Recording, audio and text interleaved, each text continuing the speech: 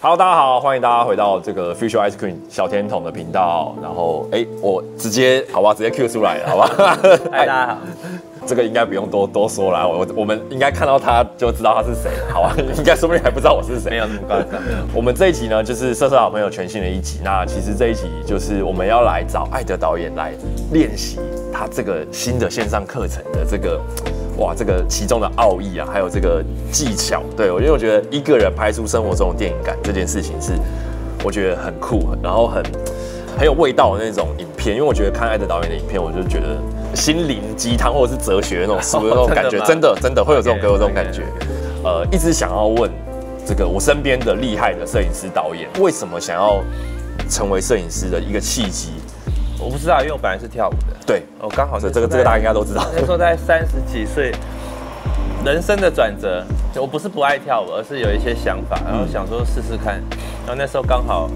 获得一台单眼，嗯，然后就开始用单眼拍，是。那个年代刚好是五 D two 五 D 三啊，对对对，大海摄影机变成开始有人可以用单眼做拍做做录影做影片了，对然后因为以前没有自动对焦，就要自己用手对。焦，是那时候拍起来的，嗯，然后那时候我拍时装比较多嘛，对，跟啊跟可乐一起做做品牌，对，然后这些东西，然后做了一些艺人的小访谈，对，那时候影像这件事情不是我的职业，嗯，那我就这样觉得好玩，好玩，玩就就这样这样拍起来，到现在已经。十一年了，我大概在二零一四一五那边做了一个比较确实的切割，是我不我不摄影啊，我就是纯纯导文导文导文。但二零一八开始觉得，哎，我好像想做频道试试看，嗯所以才开始身上又拥有器材了，嗯，就又开始回来拍东西。因为因为我以前记录是没有没有原因跟理由的，对，就单纯记录嘛。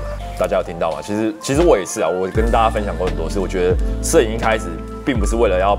呃，你好像要为了要什么赚钱或者是盈利，就是我觉得完全是从兴趣好玩开始。你你不知道你可以做到什么，对，你要做了做了才知道。但你你要做的当下，你就觉得哦这件事情还蛮爽的，或是蛮好玩的，或是你得到别人的关注，你得到一点成就，如果是那那个是 push 的动力也不错。对，没错。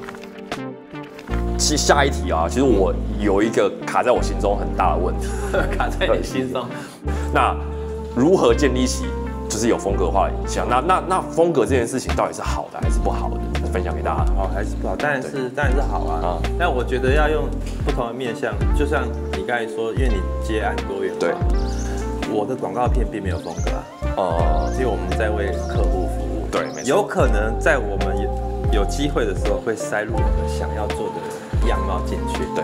其他部分我不觉得我在商业广告片，不管是拍到一百万两百万，我都没有。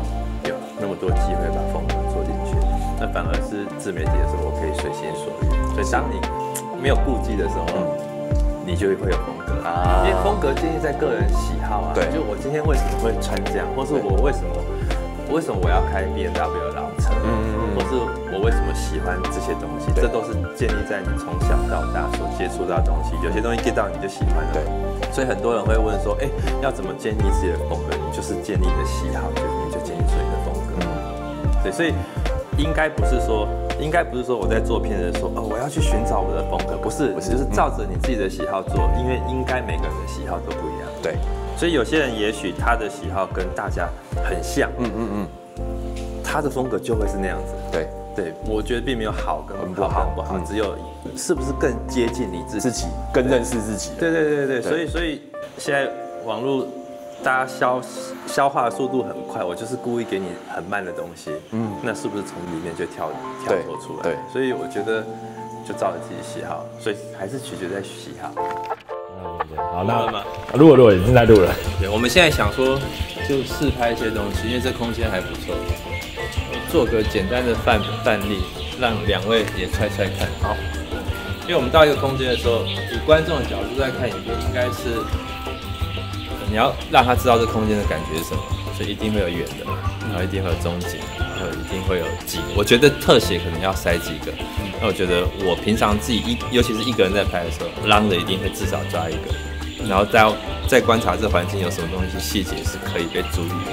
嗯，然后这些素材截取之后，我们先不管我们当下感觉什么，进到后期的时候，这些素材够的时候，当我们铺上音乐跟颜色，想要颜色，它那个那个感觉就会出来了。我想要试试看，因为这个课程有一个作业是 photo emotion，就我们尽可能不要依赖运镜，不要做劝焦，一个定卡，你要用脚架也可以。那如果手持的话，就尽可能稳住。然后我们整支片只有定卡，对，慢慢看。好，把摄影拉到拉到最基础试试看。所以我们今天不练剑法，我们练蹲马步。蹲马蹲马步把把先把把木蹲到蹲蹲的好，嘿，你剑法才会好，好不好？来，我们来来试实拍实拍。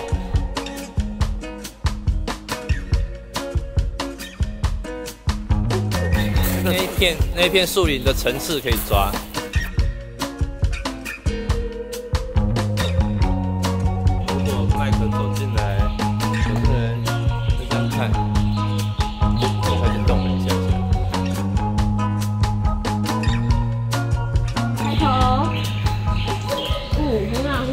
在拍片的时候，我们一定会有很大的压力，因为我们是执行者。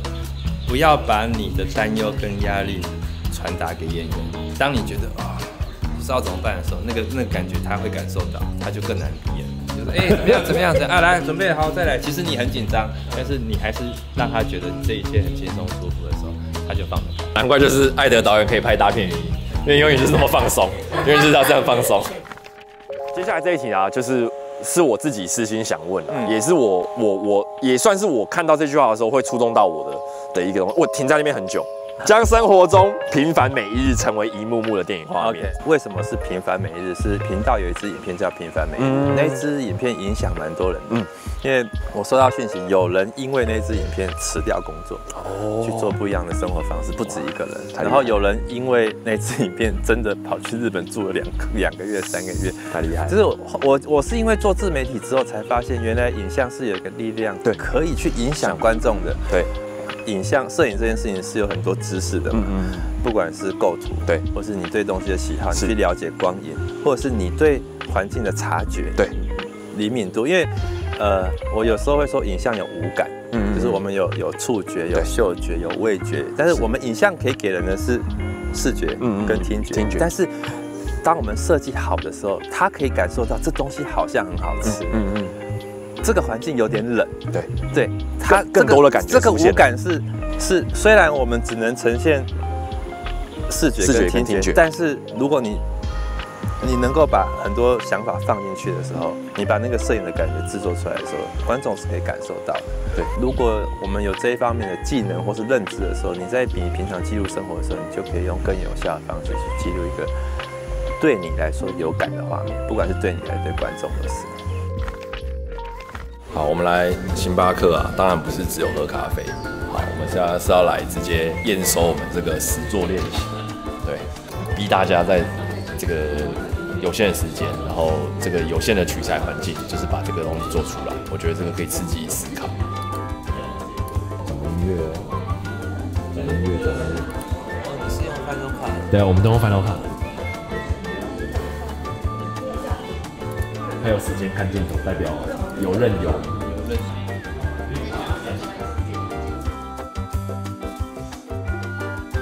四、三、二、一，可以看片了，可以看片了。可以看片。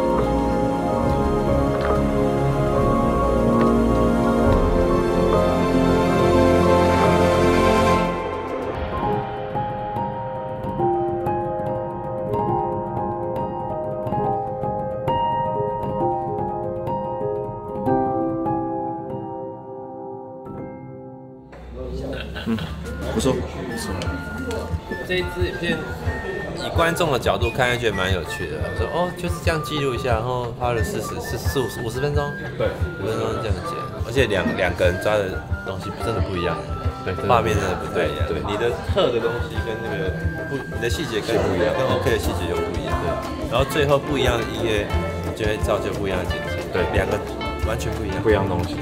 拍片就是这么有趣，很有趣，真的。每个人做的不一样。艾德老师这一堂课呢，这课程的内容之丰富啦，丰富到我必须拿出手机跟大家讲有多丰富啊！我来看一下啊。